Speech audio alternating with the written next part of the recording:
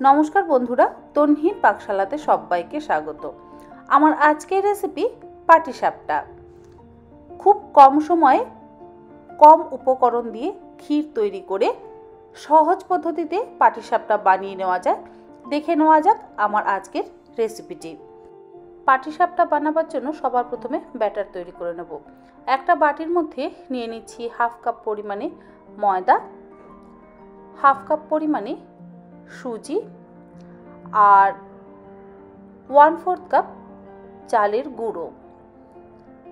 আমি measuring cup ব্যবহার করেছি। আপনাদের যদি মেজারিং কাপ না থাকে, সেক্ষেত্রে আপনারা চায়ের কাপও কিন্তু ব্যবহার করতে পারেন। এর মধ্যে দিয়ে দিচ্ছি খুব সামান্য পরিমাণে একটু লবণ। এবারে সমস্ত শুকনো উপকরণ আমি ভালো করে মিশিয়ে নিচ্ছি। ব্যাটারটা গোলার জন্য দিয়ে দিচ্ছি হাফ কাপ পরিমাণে নর্মাল টেম্পারেচারে রাখা দুধ। দুধটাকে আগে থেকেই জাল দিয়ে আমি ঠান্ডা করে রেখেছিলাম। আর দিয়ে দিচ্ছি থ্রি ফোর্থ কাপ জল। ভালো করে মিশিয়ে নিচ্ছি।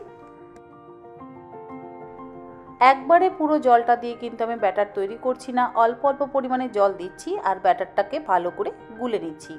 যেহেতু এর মধ্যে সুজি ব্যবহার করা হয়েছে, তাই সুজিটা ফুলে উঠবে। জল আর দুধের মাপটাও ঠিক সেই বুঝেই দিতে হবে। যে মেজারমেন্ট নিয়ে আমি ব্যাটারটা পুরোটা তৈরি করলাম, ঠিক এই মাপে যদি আপনারা ব্যাটার তৈরি করেন, তাহলে আপনাদের পাটিসাপটাও একদম পারফেক্ট হবে।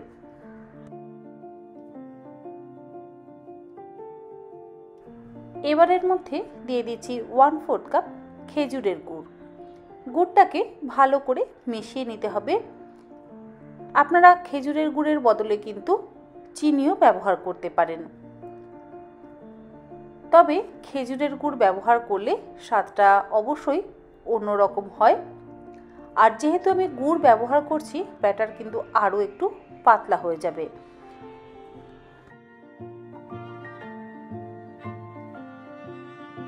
দেখুন, আমাদের ব্যাটার তৈরি হয়ে গেছে। তবে এটাকে আমি ঢাকা দিয়ে পনেরো থেকে কুড়ি মিনিট এইভাবে রেখে দেব। ব্যাটারটা সেট হতে হতে আমি ক্ষীরটাকে তৈরি করে নেব। কড়াইতে দিয়ে দিচ্ছি এক টেবিল চামচ পরিমাণে ঘি। গ্যাসের ফ্লেমটাকে লোতে রেখেছি। আর দিয়ে দিচ্ছি একশো পঁচিশ এমএল দুধ মানে হাফ কাপ দুধ। দুধ আর ঘিটাকে আমি ভালো করে জাল দিয়ে নেব। তারপর দুধটা ফুটে উঠলে গ্যাসের ফ্লেমটাকে বন্ধ করে দেব।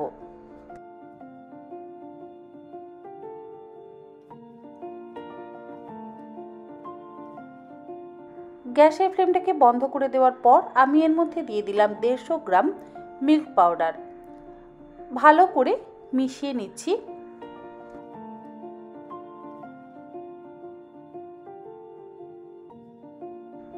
মিল্ক পাউডারটা ভালো মতন মিশে যাওয়ার পর গ্যাসের ফ্লেমটাকে জ্বালিয়ে নিলাম।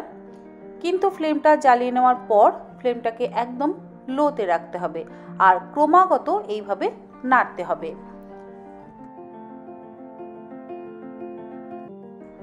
মিনিট চার পাঁচেক সময় ধরে লো ফ্লেমে ক্রমাগত নাড়াচাড়া করার পর এইভাবে কিন্তু আস্তে আস্তে ক্ষীরটা জমতে শুরু করবে আর কড়াই থেকে ছাড়তে শুরু করবে। ঠিক এই অবস্থায় আমি এর মধ্যে দিয়ে দিচ্ছি এক টেবিল চামচ পরিমাণে খেজুরের গুড়। গুড়টাকে ভালো করে মিশিয়ে নিতে হবে।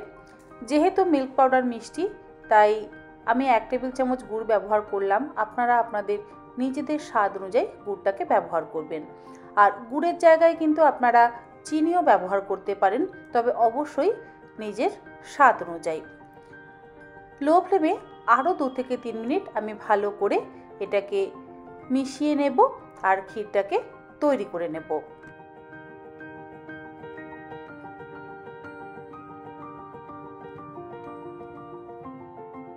ক্ষীর আমাদের তৈরি হয়ে গেছে।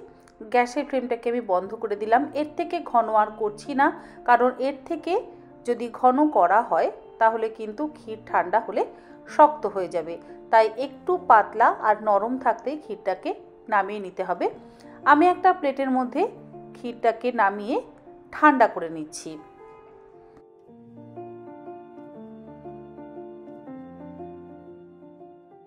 ক্ষীর ঠান্ডা হয়ে গেলে হাতের তালুতে অল্প পরিমাণে একটু ঘি মাখিয়ে আমি কিছুটা পোর্শন ক্ষীর দু হাতের মধ্যে নিয়ে এইভাবে রোল করে নিচ্ছি, যাতে পাটিসাপটার মধ্যে ক্ষীরটা দিতে সুবিধা হয়।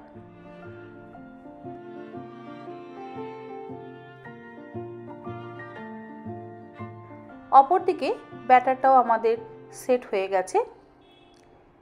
এবার আমি আরও একবার হাতা দিয়ে ব্যাটারটাকে একটু মিশিয়ে নিচ্ছি।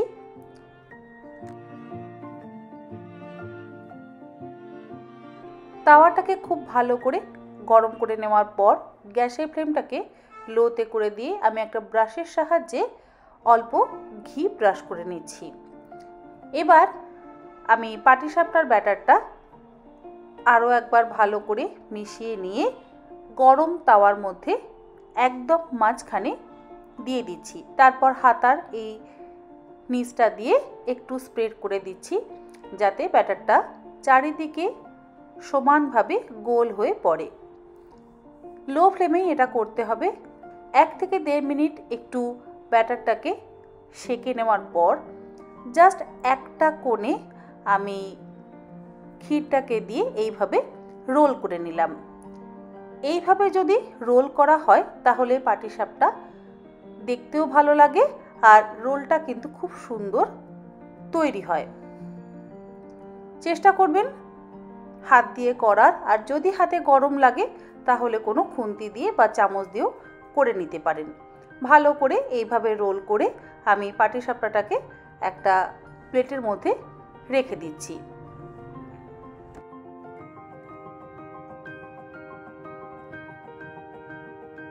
আরও একটা পাটিসাপটা আমি তৈরি করা দেখিয়ে দিচ্ছি। ওই একই রকমভাবে আগে একবার ঘি ব্রাশ করে নিচ্ছি, তারপর ব্যাটারটাকে মাঝখানে দিয়ে হাতার নিচ দিয়ে একটু স্প্রেড করে দিচ্ছি।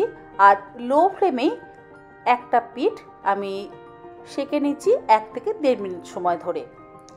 ওপরের পোর্শনটা একটু শুকিয়ে গেলে ক্ষীরের একটা পুর এইভাবে একটা সাইডে দিয়ে সাপটে রোল করে নিতে হবে। পাটি যেভাবে আমরা সাপটে গোল করে রোল করে নিই, ঠিক সেইভাবেই কিন্তু এই পাটি সাপটাটাকেও একদম সাপটে রোল করে নিতে হবে।